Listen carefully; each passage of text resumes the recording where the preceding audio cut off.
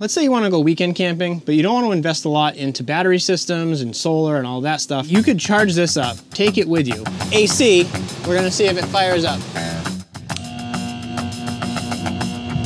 The Anker 757 portable power station really stands out amongst the competition. It is the longest lasting power station on the market and it boasts some pretty impressive features. In this video, I'm gonna go over all of its features and specifications. I wanna find out what it can power, how long it will last, and what it takes to overload it. But first, I'd like to thank Anker for sponsoring this video and sending their new 757 Powerhouse portable power station for me to test and review. At the heart of this power station lies 1,229 watt hours of premium lithium iron phosphate battery cells. For all of you RVers out there, that's a little over 100 amp hours of battery. These are also known as LFP or LiFePO4 cells. The battery cells are rated for 3,000 complete charge cycles. You could fully charge and discharge the power station every day for eight years before seeing any noticeable reduction in battery capacity. Anker also backs their 757 power station with a five-year warranty. It will even outlast the warranty of your other electronic devices.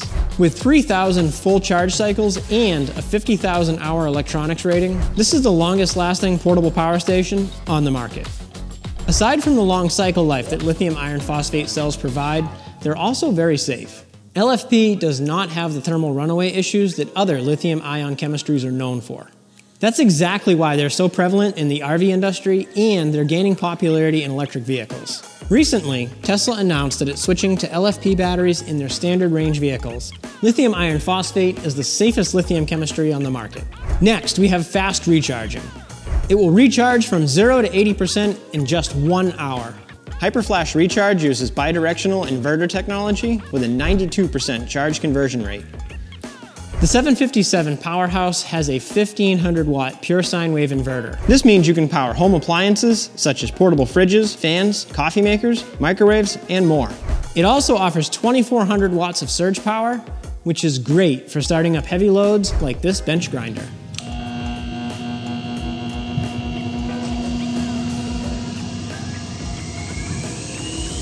Now, as for the construction of this power station, I'm really impressed. It's very, very rugged. It doesn't creak, it doesn't squeak. The 757 is made from high quality materials, including this automotive grade aluminum frame. It should survive many years of camping and being moved from place to place. And it looks great, especially these blue vents. They add a nice accent to its overall appearance. The 757 Powerhouse is a worry-free power supply for three to five day trips and unexpected electrical outages. All of this power capacity does come with some heft. The unit weighs in at 43.9 pounds, but the two handles and sturdy construction make it easy to carry and maneuver. The rubber feet keep it firmly planted and protect whatever surface you set it on. Means when you plop it down on something, it's got some grip and some, some protection from vibration. Quite impressed with it. On the front of the 757, you're gonna find a nice big display where you can monitor input and output power, charge mode, active ports, remaining charge time and capacity, alerts, like the temperature alarm, and the power saving status. The power saving mode will turn the power station off if it detects that the connected devices no longer require power. So you can charge up all of your devices, and when the last device is fully charged, the power station will turn itself off to save battery. The button to the right will turn the backlight on so you can see what's being displayed. At the top, there is an LED bar with three brightness settings. I just like playing with it. I like that. This is very handy in the dark and as a backup light source that will run for days. In fact, right here it tells me on low it uses 2 watts, medium it uses 3 watts, and high it uses 4 watts. So I'd have to do the math, but right now it says 99.9 hours of runtime remaining. You could really use this as a safety light or a night light on the inside or outside of your RV without really diminishing the battery capacity. As for ports, on the left, there is one car socket with an on-off button. In the middle, there are four USB-A ports, two USB-C ports. One of those USB-C ports provides 60 watts and the other provides 100 watts of power. On the right side, we have six 120 volt AC ports with an on-off button. These are powered by that 1500 watt pure sine wave inverter. And it's best to leave these power buttons off when they're not in use to prevent unnecessary battery drain. The main way to recharge the unit is of course with its included power cord. You can charge the 757 with up to 300 watts of solar power using the Anker 625 solar panels. I don't have the panels to test out, but Anker does have a solar kit and I'll link to it in the description below. On the back of the power station, you have all of your power inputs. It features that 1000 watt AC input that I mentioned earlier and car and solar DC inputs. The solar input supports up to 300 watts. There's also a handy overcharge protection button right in the middle. Anker also offers the 521 and 535 powerhouse models with the same long-lasting batteries, but in smaller capacities. So that's it for the features and specifications. Now it's time to take it out and see what it can do. Let's go.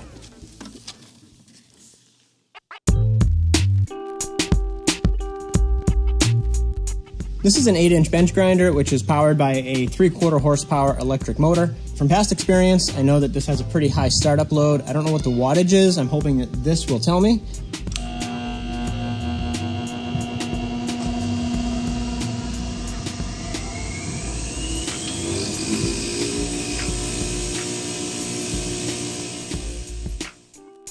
So at the campground that I'm currently working at, we have this barn out here. The electrical work hasn't been finished, and we haven't had electricity out here for about two months. I have the grinder for sharpening lawnmower blades and shaping various pieces of metal, like stakes for the trees and things like that. One of the other really common things we need to do is inflate tires, and that's what this air compressor is for. So this is another electric motor load. I'm kind of curious to see how it handles it and what this requires for power, especially during startup. Let's find out. So this is a one horsepower motor. Looks like it can do 2.3 cubic feet a minute.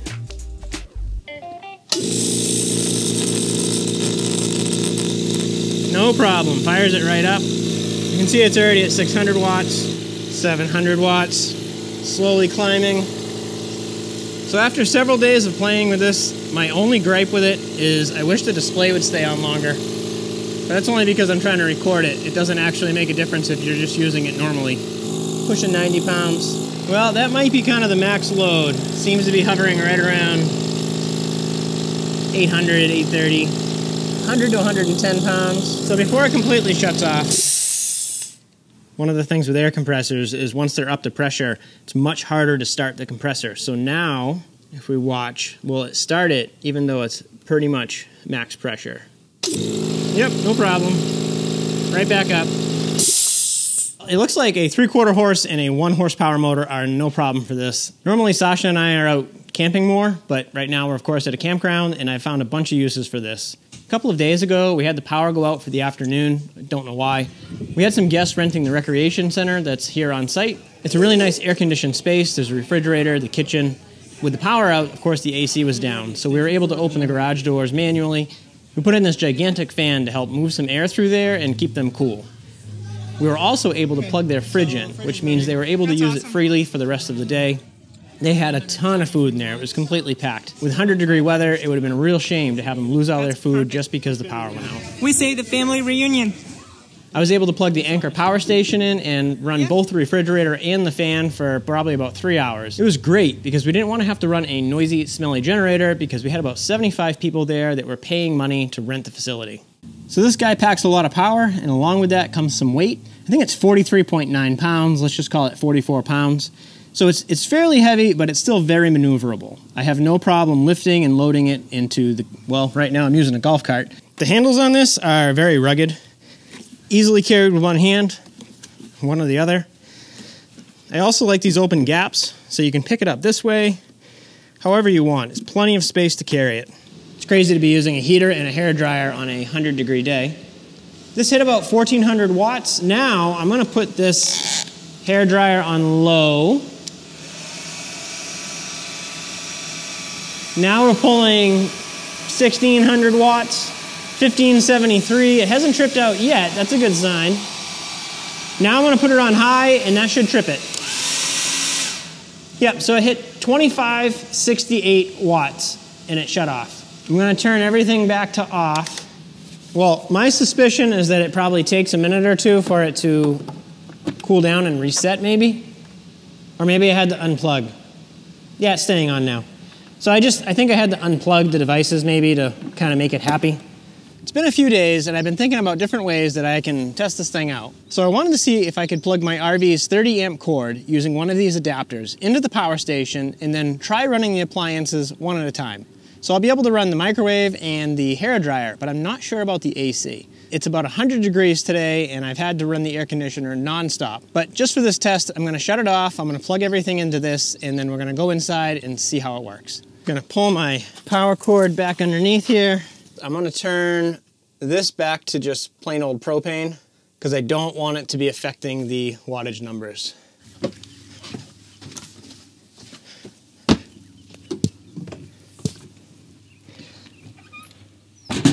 I figured I would bring the power station in here and that way I'm in the shade and it's much cooler in here than it is outside. So I'll just plug my, my plug in right from the camper into here. So that's just fan. And then if I go to AC, we're gonna see if it fires up. Look at that. It's running my AC. Blowing cold air. 1100, 1200. And it's saying it can run my air conditioner for about 0.8 hours, 0.7. That's a huge load for this. It's pretty impressive that it can do it. I think that's very cool. And let me turn the AC off. I just hit start. So that's running fine. And that's drawing four, and you can just hear it. The fan's kicked on. They're fairly quiet. Certainly not uh, very loud. Over here, I can barely hear it. So yeah, it looks like it's drawing about 1300 watts, 1400 watts. Let's say you want to go weekend camping, but you don't want to invest a lot into battery systems and solar and all that stuff. In theory, you could charge this up, take it with you, and you would have enough power to run a coffee pot, 759 watts, a hair dryer for five or 10 minutes, a microwave, or even like a little electric induction cooktop. This really is a perfect power alternative for people who are looking for uh, just temporary power you know, maybe use it for the weekend, you go home and charge it. Like what we had happen at the campground, uh, power outage for like four hours, and this was enough to keep all the freezers running and things like that. So it's been very, very useful. I really like the fact that this is lithium iron phosphate. It comes with a five year warranty and it will probably last well over a decade with normal usage. So I would say it's a very good device to kind of keep around and use for emergency situations or for camping. I can't possibly demonstrate all the uses for it, but anywhere you might need electricity, this seems to want to handle it. Now, of course, the Anker Powerhouse is going to be able to power all of your regular electronics, your phones, any kind of things like an iPad, Apple Watch. This is a rechargeable power pack. This is uh, some microphones, cell phone. All of this is plugged in and charging. It's pulling about 58 watts. I love the fact that this has two USB-C chargers. One is a 100 watt, the other one is a 60 watt. Both of our laptops will take 100 watt USB-C. It'll also work with 60 watts, of course, so we could actually run both of our laptops off of this with no problem. And then it has the additional four USB-A ports, which means that you can plug in four other devices pretty easily. I gotta say, after three weeks of playing with the Anker 757, I'm really happy with it. I think it's a great product. It's done everything that I've asked of it. It's running my AC. I'm really happy to see that Anker's using lithium iron phosphate. I think it's a superior chemistry, especially when it comes to safety and longevity. If you're looking for more information on the Anker 757 or any of their other products, I'm going to leave links to everything down below. Thank you for watching. Let me know what you think in the comments, and I'll see you in the next video. Bye.